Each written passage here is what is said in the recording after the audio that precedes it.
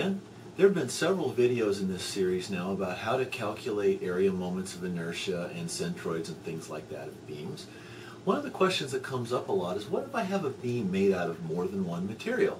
Now this happens a lot. It's easy to imagine a beam that's maybe glued together out of two different kinds of wood or riveted or welded together out of two different kinds of metal. It happens all the time. Well, it would be good to know how to handle that. So that's what this is going to be. I'm going to show you how to do this and we're going to use a really simple example. Here's a rectangular beam and let's, let's pick some really easy uh, dimensions here. That's 50 millimeters and that's 100 millimeters, okay?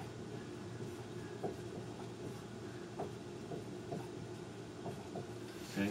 If you uh, insist on thinking about this in English units, it's basically 2 by 4. It's about that big, okay? This is my eraser, but that's more or less 2 by 4. All right, so here we go. We've got a beam, simple rectangular beam, no problem, except let's make this one out of two different materials. Let's say there's a seam right there, and this is welded, bonded, I don't know, pixie dust. Somehow you stuck these two things together. And let's make this end steel, and this end aluminum or if you're in UK, Ireland, or one of those places, aluminium. I'm going to call it aluminum. Um, so there we go. Now, I don't know how to solve that one. If you've been noticing the pattern that happens in a lot of these videos, a lot of these sample problems, there are a lot of cases in which we have a problem we don't know how to solve, and the way we attack it is we, tr we transform a problem we don't know how to solve into one we do know how to solve, and we solve that one. And that transformation means I'm going to take one problem, I'm going to turn it into another problem that has the exact same answer, but I understand the solution method. So that's what I'm going to do here. I'm going to take this, don't know what to do with it. Over here I'm going to draw an equivalent beam that will behave exactly like this one, but I'm going to change it in a way so I do know how to solve it. What I'm going to do is I'm going to take a beam made out of two materials that I don't know how to analyze, I'm going to draw an equivalent beam made out of one material that I do know how to analyze. Okay, if it's only made out of one material, I'm in business. We know how to do, calculate uh, centroids and area moment of, moments of inertia of fairly complicated shapes. You, you just divide them up into little boxes and you go through the, the, that box adding process we've seen before. So that's the big idea here. Change this into a beam with one material, different shape, but behaves exactly the same way under load. That's the transformation we're going to make. Now, in order to do this, I got to notice one thing. All right, the elastic modulus of steel is about 210 gigapascals. It depends on where you look, but it's around that. Sometimes you'll see 205, 207, whatever. But you'll see in a second why I picked 210. It's, it's, it's going to make the numbers work out. Elastic modulus of aluminum is 70 GPa. Well, I can't help noticing that that number is three times that number. That is, elastic modulus of steel over the elastic modulus of aluminum is 3. Right? That means this piece here is three times as stiff as that piece. Okay, now I'm getting somewhere. If I could pretend this is made out of aluminum and change the geometry so this was three times as stiff as that, I could make a beam out of one material then I could analyze it. I know what to do then. So that's the transformation I'm trying to make. Well, how do I make this three times stiffer than this? Well, I could make it taller, right? Because the stiffness is a function of height cubed. Okay, remember that 112 BH cubed. Well, that's not going to work out too well. There's no convenient number here. I could do it, but it's not convenient. The other thing I can't help noticing is that that 112 BH cubed thing, that means that stiffness is proportional to width. So if the width of this were three times that, and this were made out of aluminum, I would have an equivalent beam, one that would act the same even though it's made out of one material. So that's what I'm going to do. This is, I'm going to transform that, that, that rectangular beam into this beam. Okay, with that being 150 millimeters now, that being 50, and that being 50, and that being 50. Okay? Now, this beam is not really what we have. Physically, it looks like this. Mathematically, if I make this whole thing out of aluminum, how do I do this? It has one-third the elastic modulus of this. I'm in business. I'm going to get the same answer now. Problem I don't know how to solve transformed into a problem I do know how to solve. So there we go. Now, for just reasons of good form, let's go ahead and uh, grind all these numbers out here. Okay? So we'll start by doing finding where the centroid is. Okay, now, quick glance. Well, the centroid of the lower box is right there. The centroid of the upper box is right there. I think I numbered these as 1 and 2. So I'll number that box 1 and that box 2. That's 50. Let's see, that's going to be y. So I would think that the centroid of the entire box has to be between there and there. Okay, that's 25, and that's 75. Okay, so it's got to be somewhere in between there. I don't know, 70 maybe would be a good answer. So wherever the centroid's going to wind up, it's got to be between those. Okay, that's my sanity check.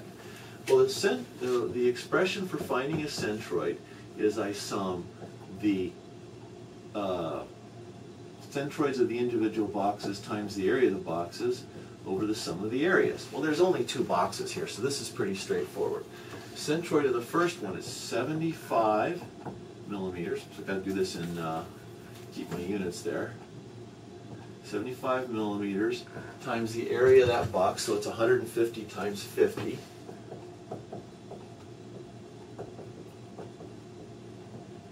Okay, that's box one, okay, first box. Do the same thing for the second box. The centroid is 25 millimeters above my assumed axis there. And I multiply that by the area times 50 millimeters times 50 millimeters. So again, location of the centroid, base height. Location of the centroid, base height. All right, divide all that stuff by the area of the two boxes. Okay, there's the first box and the second box. Okay, so there we go.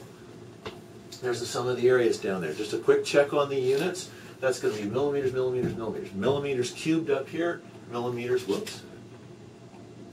Millimeters squared down here, I'm going to get millimeters cubed divided by millimeters squared. Going to get a units of millimeters, and that's right. And it's uh, 62.5 millimeters is y bar. Okay, that's good. That makes sense. It's between those two, a little bit above there. That's quite believable. right? don't have any problems with that.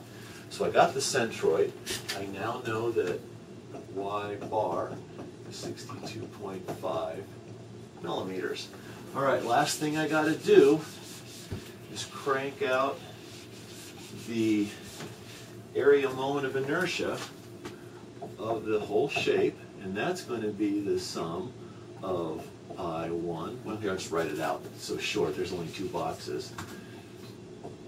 I1 plus A1 D1 squared plus I2 plus A2 D2 squared. Right? And I can, if I had more boxes, I could just keep adding terms there. That's the area moment of inertia of box 1, area moment of inertia of box 2. Area of box 1, area of box 2. If you remember, D is the distance between the centroid of the individual box and the centroid of the entire part. Okay, well, let's see. Let's start grinding these out. 112 B1 H1 cubed. I've Got my cheat sheet here. I'm not going to try to work all these out by hand. Um, let's see. B1 is 150 millimeters times 50 millimeters cubed. Okay, and that is, let's see if I got it right here. Um, let's see, 1562500, okay? Millimeters to the fourth now because I am uh, calculating area moments of inertia. All right, A we already know. Now D is the distance between the centroid of that box and the centroid of the entire part, which is 62.5 millimeters. Okay, so D1 equals, uh, let's see, 75, which is right there, minus 62.5. That's in millimeters, and that's in millimeters. Now, Normally, I would care whether D1 and D2 are positive or negative. This is the one time in your life where you get to ignore signs because we're going to square it up here. Doesn't matter, right? Let's see, do I have D written down there? Oh, let's see, D1 is 12 and a half. I could have looked at that.